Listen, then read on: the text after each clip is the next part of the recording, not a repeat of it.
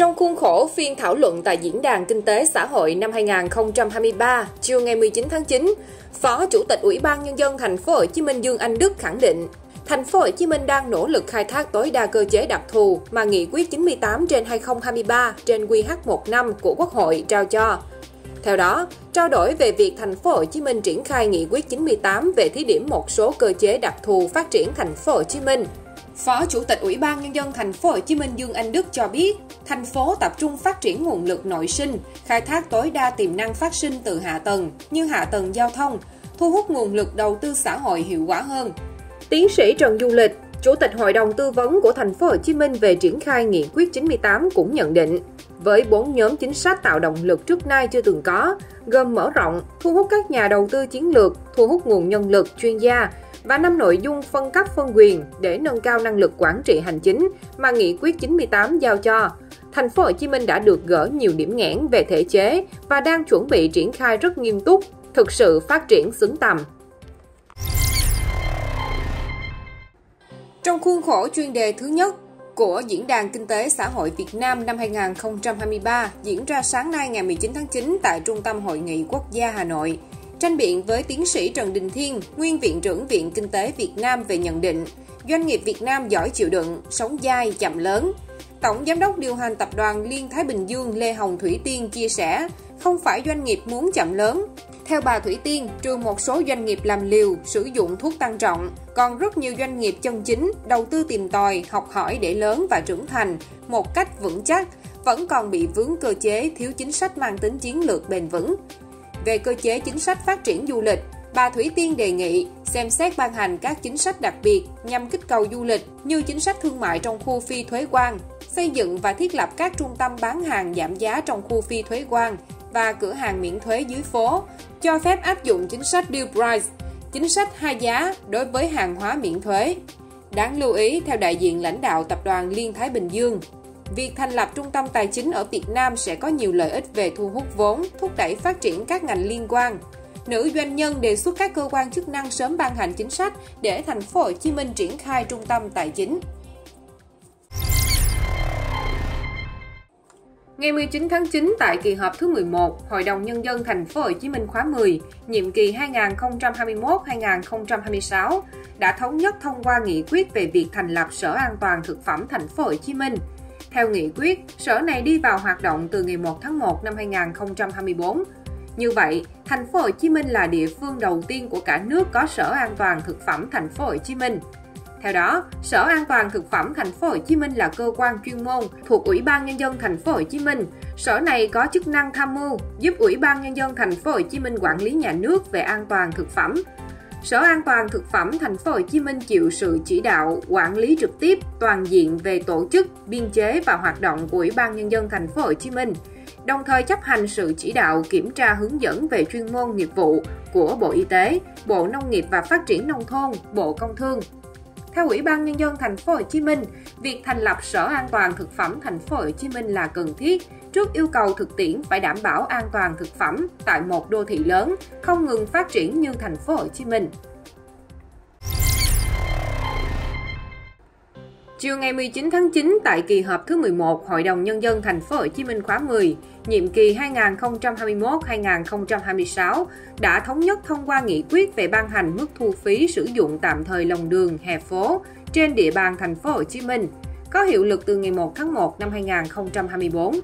Theo đó, đơn vị được giao nhiệm vụ thu phí là Sở Giao thông Vận tải Thành phố Hồ Chí Minh, Ủy ban nhân dân cấp huyện. Thời gian thu phí từ 0 giờ ngày 1 tháng 1 năm 2024. Toàn bộ số tiền thu phí được nộp vào ngân sách và được sử dụng có mục tiêu phục vụ hoạt động thu phí và công tác quản lý bảo trì, khai thác lòng đường hè phố. Theo bảng mức thu phí, nếu số ngày sử dụng lòng đường hè phố dưới 15 ngày trong một tháng thì tính nửa tháng, nếu số ngày sử dụng lòng đường hè phố từ 15 ngày trở lên trong một tháng thì tính một tháng. Các tuyến đường trung tâm là các tuyến đường có giá đất bằng hoặc cao hơn giá đất bình quân khu vực. Các tuyến đường còn lại là các tuyến đường có giá đất thấp hơn giá đất bình quân khu vực. Ngày 19 tháng 9 tại kỳ họp thứ 11, kỳ họp chuyên đề Hội đồng nhân dân thành phố Hồ Chí Minh khóa 10, nhiệm kỳ 2021-2026 các đại biểu Hội đồng nhân dân thành phố Hồ Chí Minh đã thảo luận, góp ý kiến nhiều nội dung liên quan đến thể chế hóa các cơ chế chính sách tại nghị quyết 98 trên 2023 trên QH15 về thí điểm một số cơ chế chính sách đặc thù phát triển thành phố Hồ Chí Minh, nghị quyết 98, cũng như các vấn đề kinh tế xã hội của thành phố. Tại kỳ họp, nhiều đại biểu băn khoăn về việc hạ mức chi thu nhập tăng thêm 5 tháng cuối năm 2023 xuống còn 0,8 lần so với mức 1,8 lần của 7 tháng đầu năm.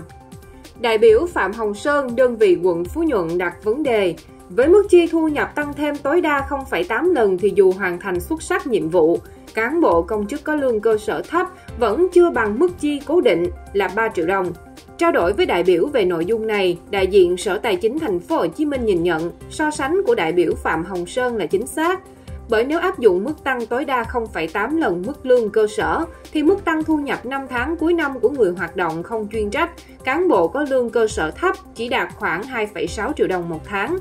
Bổ sung thêm, Giám đốc Sở Nội vụ Huỳnh Thanh Nhân chia sẻ, thành phố sẽ cân đối tính toán, phấn đấu đảm bảo mức tăng 1,8 lần trong các năm tiếp theo. Thông tin thêm về quy định mức chi của các đơn vị sự nghiệp công lập, Giám đốc Sở Nội vụ cho biết, quy định này là cơ sở để các đơn vị có nguồn thu tự cân đối chi trong nguồn ngân sách hàng năm của mình.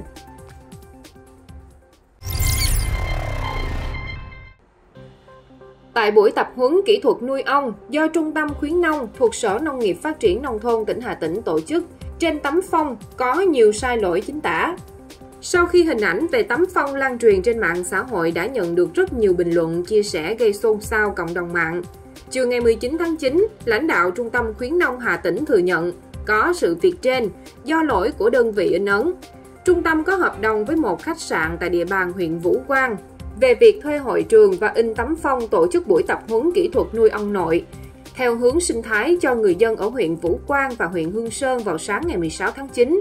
Phía khách sạn đã hợp đồng với cơ sở in ấn để làm phong, nhưng đã không kiểm tra, dẫn đến sai sót về lỗi chính tả, dấu câu trên tấm phong như trên mạng xã hội. Trước buổi tập huấn kỹ thuật nuôi ong, Trung tâm khuyến nông Hà Tĩnh đã phát hiện tấm phong bị lỗi nên đã xin lỗi học viên, xin sửa những lỗi có thể sửa được và tập huấn cho kịp thời gian. Tuy nhiên có người đã chụp ảnh lại tấm phong bị lỗi khi buổi tập huấn chưa diễn ra để đăng lên mạng xã hội. Sau khi sự việc gây xôn xao trên mạng xã hội, phía khách sạn đã nhận lỗi.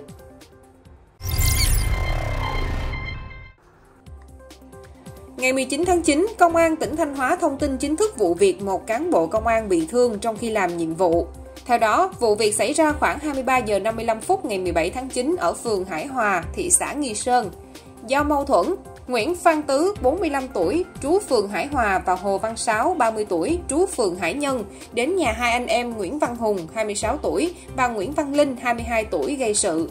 Nhận tin báo, Trung tá Tống Anh Nhân, trưởng công an phường Hải Hòa và Trung úy Phan Tiến Dũng, cán bộ công an phường nhanh chóng có mặt tại hiện trường. Trong khi tổ công tác đang khống chế Tứ, thì bất ngờ Nguyễn Văn Cường, 35 tuổi, là anh trai của Hùng và Linh, cầm dao, ống tuyếp sắt, chém về phía Tứ và tổ công tác. Sau đó, Tứ rút khẩu súng bắn liên tiếp nhiều phát làm Trung úy Phan Tiến Dũng, Cường và Linh trúng đạn. Trung úy Phan Tiến Dũng bị thương nặng phải đưa đi cấp cứu tại Bệnh viện Hữu nghị Việt Đức Hà Nội. Linh và Cường cấp cứu tại Bệnh viện Đa khoa tỉnh Thanh Hóa. Hiện Trung úy Dũng đã được phẫu thuật gấp đầu đạn nhưng vẫn đang hôn mê, phải điều trị tại phòng hồi sức tích cực.